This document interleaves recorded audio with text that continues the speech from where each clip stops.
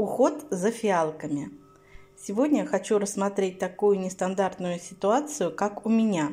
Я нахожусь в доме, где полным ходом идут строительные работы, а это значит пыль.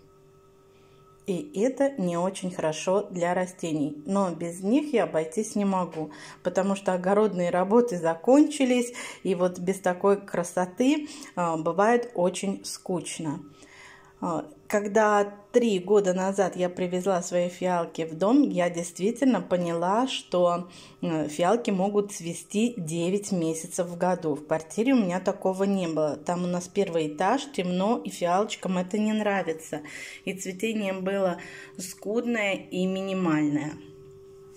А здесь они себя чувствуют просто прекрасно, несмотря на пыль. Но также необходимо и правильный уход для них здесь. Первое, что это необходимо очищать листья от пыли. Это можно сделать таким способом, взяв вот такую кисточку, максимально мягкую, чтобы не повредить листочки, не сломать, не повредить их волосяной покров. Таким способом я сметаю пыль с, листочков, да, с фиалочки.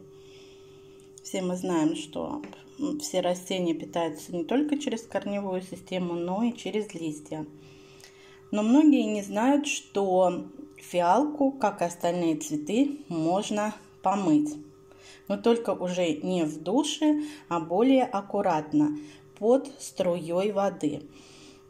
Температура воды должна быть комнатной температуры, то есть такая максимально тепленькая, не горячая, не холодная. И струя совсем должна быть тоненькой, чтобы не повредить листочки.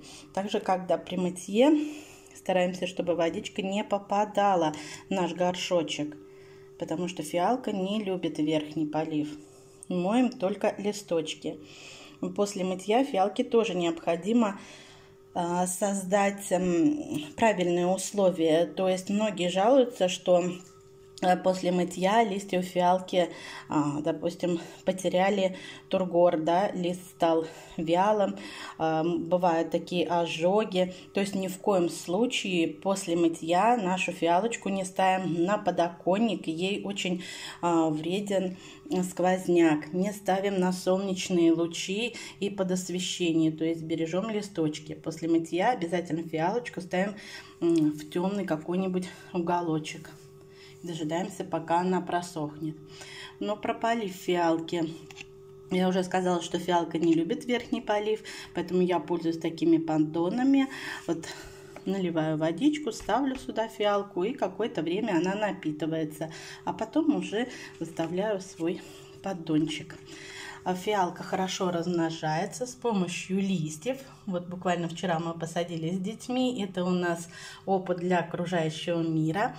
Предварительно наши листочки в воде дали корешки. И вот теперь мы ждем появления новых листочков. При посадке, значит, листочек выбираем не уже такой не вялый, да, а вот именно хороший листочек э, с хорошим тургором, да, чтобы он был прям вот, чтобы быть уверенным, что он даст нам корешочки.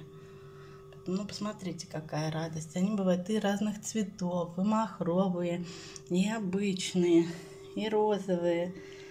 То есть как обойтись без наших фиалочек?